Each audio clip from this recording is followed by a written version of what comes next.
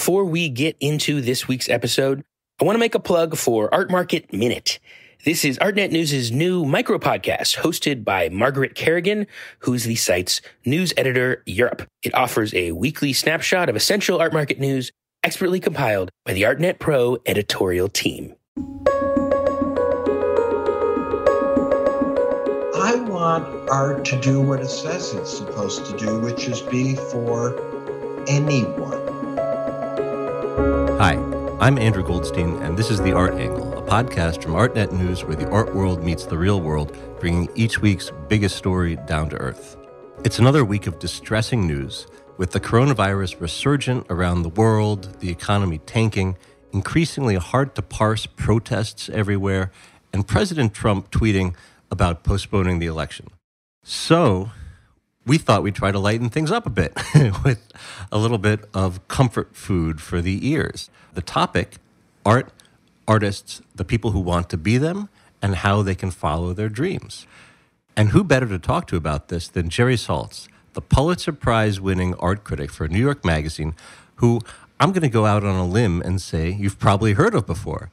He's been in movies, he's been a judge on a reality TV show, his social media following is off the charts. And now he has published his fifth book called How to Be an Artist. It evolved out of a 2018 New York Magazine article of the same name and contains 63 pieces of practical, inspiring, and empowering advice for people who, for whatever reason, wish they were the next Hilma af Klint, Kerry James Marshall, or, God forbid, Picasso. I had the pleasure of speaking to Jerry earlier this year for a live virtual conversation organized by New York's National Arts Club which we recorded for this podcast. I hope you enjoy it. So, we're going to jump into a freewheeling conversation here in the manner of these new Zoom things, starting with the book and moving on from there. How does that sound to you, Jerry? It sounds great, Andrew, and it's really good to see you uh, from where I am in Northwest Connecticut. I apologize to everybody for being a bit of a slow talker. We're about two hours north of New York. That's with my wife, Roberta Smith, who is the best art critic, in my opinion. Where are you, Andrew? I have no idea, really. Well, I, by some weird coincidence, I'm about uh, 20 miles away from you. well, we should all be Google Earth visiting each other. Like, give your address. I've been doing this and swooping on everybody's house and getting totally green eyed monster jealous in everyone's life. It is nice to be in the green at this moment. But before we get sidetracked, I, I just want to talk about your book a little bit because it is really a great read. It's diverting, it's entertaining, it's filled with incredible quotes, and it dropped in March, right around when the pandemic hit. So it's about how to be an artist. And a critical piece of information here is that you were actually an artist yourself before you became a critic. What kind of art did you make? Well, the embarrassing answer to that is not good enough to keep being an artist. Or maybe it was good. I wrote a whole essay about it called My Life as a Failed Artist. And uh, in it, I talk about the 10 years that I spent making art. Now, I have no degrees, so I don't know what I'm talking about. And the same demons that live in your mouth live in my mouth. And they would say to me what yours said to you this morning you don't know what you're doing. You're a fake. You're not educated enough. Who cares about what you're saying? You have a bad neck you have no hair you know uh, it goes on and on. You don't have enough money. You don't know how to schmooze. And well i uh, behold somebody that's listened to the demons. This book how to be an artist is really a note to my younger self andrew. Hmm. i'm 69 now so i quit being an artist in my late 20s uh, I can't do math. Nobody in the art world can. That might be 40, 50, 30 years. But it's a note to my former self about what it takes to get through those long days and hard nights. dark nights. What I learned from every artist, every writer like you, every work of art I've ever seen, and a lot of idiotic quotes that I've used as talismans to get through and keep working and have the one thing that I want everybody to have, which is a life lived in art. And that's what the book is for. It's not about how to make you a rich or famous artist. If you know how to do that, write the book. I could not write a book called How to Be a Critic because I don't have the slightest idea how you do that. None of us are doing what we do for the money. I want the bad, the good, the bad, and the very bad to make money. I never begrudge that, but as Andrew can tell you, uh, writing is not the way to make money. The writing is a way just to have a life in art. So that's what the book is, and I hope you know you'll buy it and get to work, you big babies. so you mentioned your uh, New York Magazine article that you called "My Life as a Failed Artist," which was a terrific article. In fact, it was one of the articles that won you your Pulitzer. At the same time, it's not exactly the best resume line for somebody who's going to write a book on how to be an artist. No. Is there something about being a failed artist that gave you greater insight into what makes a successful artist? That's a great question. Uh, the one thing I think being any kind of artist gave me was a sense of the process itself, how much paint weighs, what it smells like, what it sounds like, how those hours of being alone, as opposed to the way you spend your hours as a writer or I do, being alone. However, I would tell all people that go, and this applies to both me and Andrew, everybody. They say, How can you two write about art if you don't make it? I would say, Excuse me. Uh, would you tell uh, people that have never made wine not to write about wine? Movie critics have never made a film. Baseball writers, Roger Angell is the Shakespeare at the New Yorker of baseball, and he's he couldn't play um, an inning. So please chill. That is an ancient romantic, uh, born only in the uh, early 19th century, idiotic, mostly male idea. So uh, wherever I started answering this, I don't know. But all I can tell everybody listening to this is I became an art critic by saying I was one. After driving a truck for 10 years and being completely exiled by the end of this 10 years of driving to New York or to Florida uh, once a month, just miserable, as miserable as everybody gets doing the jobs that they don't want to do in the real world where it's very hard. And one day I just thought, I've got to get back in the art world. I really was thinking of it all the time. And I thought, well, I can't be a dealer because I have no money and I can't add and I don't want to be a curator because I don't want to listen to artists say, put it over there. You know, I'm my own asshole. I don't need somebody to, you know, else to be one. Anyway, I went through all the jobs and I never wrote a word in my life. I could barely read. I graduated at the bottom of my very large high school class. And for some reason, I thought, eh, being a writer, that must be easy which was pretty stupid. And in New York, one of the great things in any large city, when you tell somebody in a large city what you do, what do you do? And you go, mm, I'm, a, I'm an art critic. They'll go, cool. And you are an art critic. So then all you have to do is put your ass in the chair and sit down and get to work and that took me another a bunch of years. So um, that's where I'm coming from. That's how I landed here, and somehow I'm still holding on. I have I got to ask you because you know you've been a very illustrious critic for as long as many of your fans remember you. I don't think uh, you're you're known primarily as an artist these days, but in the book you talk about artists using the pronoun we. Do you still think of yourself as an artist? No. When you say the word and I ask myself if I am that, I'll be very honest with you this afternoon.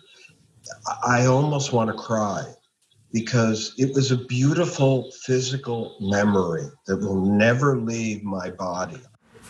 I'm not an artist. I think of myself, how I frame myself to get through the days is never as a writer. I never think of that. An art critic is much too exotic for me. I think of myself as a kind of uh, folk critic or a Sister Wendy, if any of you are old enough to know who this English nun was that did art history classes for television, the BBC. Bob Ross was a favorite of mine. Of I want art to do what it says it's supposed to do, which is be for anyone. It's not for everyone, but it could be for anyone. We just don't know who that is. But anyway, uh, that's what I think of myself as that's how I power through every single day. So, in, in your first big post pandemic essay titled The Last Days of the Art World, you approvingly quoted the painter Peter Saul as saying, There are just too many artists, too many artists, period. Why do you think the world needs more artists? Why do you want to send this book out there and mint new artists all over the world? Uh, a good, really a good and a very fair question. I think there can never be too many artists. I think that everyone is creative. Their creativity was with us in the caves. Their creativity is a survival mechanism, in fact, that Darwin himself, he never said it's survival of the fittest or the strongest a terrible misunderstanding that he spent the whole second part of his life trying to clear up. He said it's survival by those most able to adapt. And that is what is happening with art right now. Right now, art is exactly in those conditions that it's been made in for over 99% of its lifetime of the last, say, 75,000 years, which is under pressure in intimate settings. People are making things out of themselves with what's ever at hand. This is exactly how most things have been made. When the studio, the office, the bedroom, the kitchen, the playroom, the temple, all of it was one room.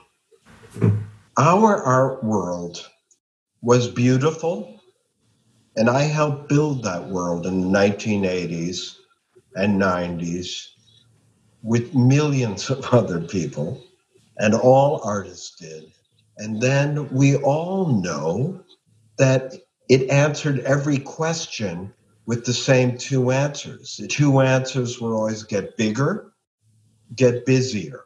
And we did and the art world got bloated. It lost its ability to adapt in some ways. It became like this big production. What, what I was quoting from Saul was more of the spirit of, come on, people, we've got to earn our way. Each one of us has to earn our way every day, including Andrew, including me. Mm-hmm.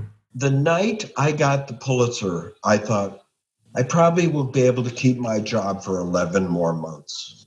The demons don't go away. So, yes, Andrew, I'm sorry. Uh, that uh, are there too many artists? No, there could be more. And I want my book to show that art has been more than what we made it in the last 20 years, which was always at 52 inches high in a white, clean room, always expensive that art is not a noun, that it's a verb. It's magic. It seems that everything is, is now being questioned, and obviously, museums, galleries are closed all over America. They're starting to reopen in Europe and Asia. But I want to ask you, as, as an art critic, what do you do when there are no shows that you can go and see and critique? My withdrawal symptoms of not seeing art in the flesh have been severe Roberta and I used to see 20 or 30 shows a week. We have no other life like you, except you run a great, I would say right now, the best online art magazine.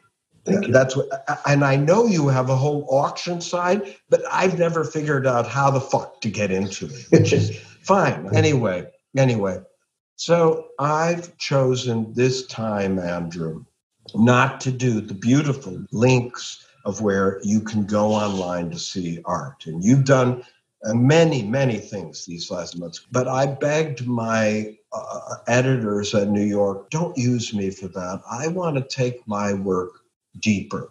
Now, that sounds pretentious. I know this, okay? And it's probably gotten shallower and stupider. But there are weird warblings in art that I've looked at my whole life, and I want to write about those. I wrote an essay on uh, Pieter Bruegel's The Triumph of Death. I just finished another one on a Botticelli painting, an almost unknown. I wrote this essay called The Last Days of the Art World, but it wasn't apocalyptic because the second part of the title was, and this is what I want everyone to listen to me on. It said, and maybe the first days too. Because right now, you might be looking at my side of the screen, but really you're going to end up looking at that side of the screen. That I already built an art world, and it was big, and it was beautiful, and it changed the world. It really did. But all of you are being tasked now to build a new world, to dispose in a way of what Andrew was just talking about. And it won't be an efficient art world, it'll be an eccentric art world. It won't be professional. Art has never not been here since the beginning, my loves. That means it's as necessary as economics, philosophy, religion, psychology. You know, we don't understand it. And it will only go away when every problem that was invented to solve has been solved. It is the most advanced operating system our species has ever developed to examine consciousness, the invisible world, the visible world, the dreamed world, to render the three dimensional world in two dimensions. It's batshit uh, uh, uh, adaptable, and then it'll disappear.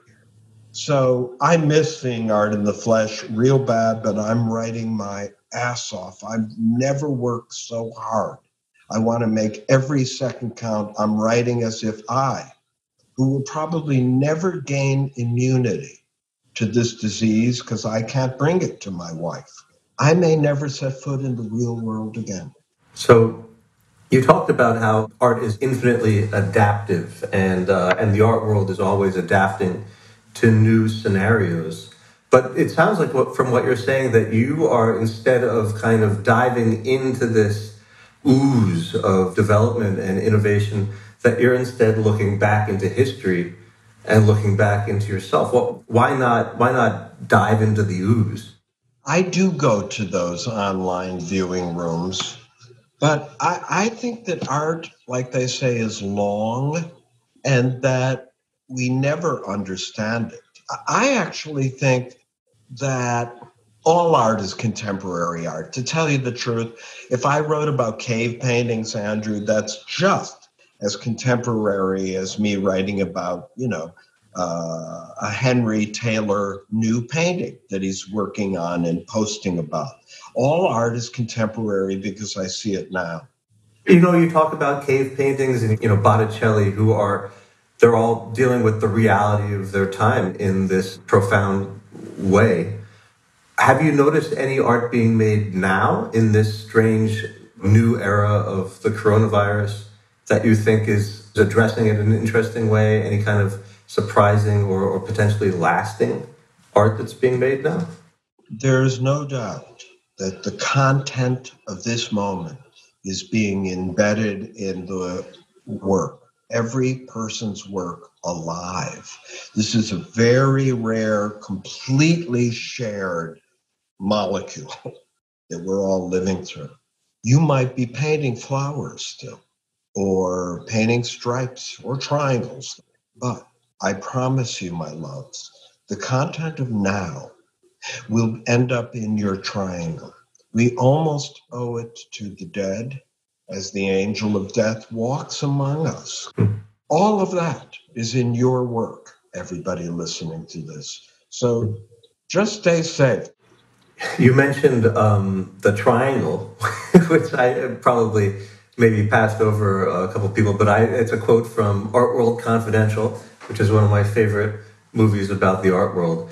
And in your book, you have um, piece of advice number 41 is quote, no, you don't need graduate school. So considering that art schools, which were already very expensive, are evolving into these remote teaching facilities, and a lot of people are probably going to start seeing them as not being as critical as before, maybe not being really a valid, you know, use of money, especially when 25% of the population in the United States is predicted to um, to become unemployed. What what impact do you think the diminishing potential relevance of art schools is going to have on art? Boy, is that a pertinent question to now. We all know they became much too expensive. Tenure is bullshit. I say this as a geezer. So we know that schools have gotten way top heavy. However, I want all artists, on the other hand, to have the experience that comes from that, which is very simple. And we need schools for this reason. We're just going to have to rebuild them. Artists must, artists are vampires, man. They have to stay up late, just like Andrew does with his people when on his way up to this being the editor in chief of the best there is right now. You had to stay up late every single night with your goddamn peers eating with them, drinking with them, sleeping with them, having the biggest fight of your life. And then the next morning, swearing blood brothers and blood sisters. We know this. I want art schools to be like that, where you spend time together and make a new language. We have to have a more fluid teaching thing. And a lot of the teachers that have them are phenomenal. But come on, it's not 100%. And we got to change this. It's got to get cheaper. And I do want it in person for you when you uh, do go back to school. And you kids, you will go back to school. You already know this, and it will be fucking fantastic. So, so this environment that you talk about with people hanging out, staying up late, you know, talking to each other, that sounds a lot like uh, the New York art scene. You know that it's it's a little bit like a, a free art school in a way because there's so much compacted frisson of creativity and excitement around it that this this whole virus is obviously um, terrible for the New York art scene because it it's going to a lot of businesses. It's going to make livelihoods impossible or much harder. But are, are there any ways in which you think it might be good for the New York art scene? New York's greatest gift has always been one thing and one thing only, which is its density. That I could go out, Andrew, and run into you without having to call you to ask you to meet me. And I'm too shy to do that. So when I used to meet you in the galleries, I'd be like, Oh, hello. How are you? Good to see you. Oh, I got to go. But inside, I was like, I'm so excited. I got to talk to him and we compared dumb ideas. And then he went that way and I went this way. And that was great. New York is now at a disadvantage for the first time. As Andrew mentioned, many other countries are going to open up because they have leaders and tracking programs and testing. America, we know, is a failed state, uh, and it's only becoming more of what it already was. However, in Los Angeles or wherever you are, I, you're not taking an elevator and the subway to get to the crowded gallery. Yes, we're lucky in New York. We're all full all the time. But suddenly all these other places are at an advantage. So, what I would tell everybody listening to this open up shitty spaces. If you build it, they will come. I promise you. This is a new art world. Yes, maybe there'll be too much reporting again on the same people because they're great. I love them. I helped build all of that bad, wonderful, tremendous, tremendous world. But if you build it, they will come. Well, I think I, that's a profound place to end. Um, thank you very much, Jerry. Thank you, Andrew, for your great work. And thank you, National Arts Clubs. It takes a pretty goddamn big village, and that's what we all are together. And uh, I miss you all more than you can know. That's it for this week's episode of The Art Angle. If you like what you heard, you can subscribe to the show on Apple Podcasts, Spotify, or wherever else you get your podcasts. Also, take a moment to rate and review us. It will help other listeners discover what we're doing. The Art Angle is produced by Tim Schneider and Caroline Goldstein and edited by Nick Long. Thanks for listening and see you next week.